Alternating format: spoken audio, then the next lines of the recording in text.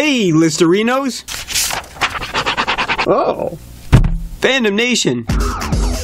We've all seen this video and the many copies, but what about Halloween? It's a bit long, but it's worth watching till the end. Under the category of music, we have Mike Tompkins. He doesn't use instruments and he creates some of the most awesome music. Scientists recently discovered they can use sound waves for levitation. I'm sticking this video under the category of awesome. To find out more, click the link or annotation. The highlight for the week is Tom Ska. Tom and his friends make some of the most impressive short films. I recommend checking out his channel and here's a few more to get you started. Thanks for watching. Please like and subscribe. If you haven't figured out already, already, click the annotations to watch the previews, or follow the link on screen or in the description below. Until next week, have a good one.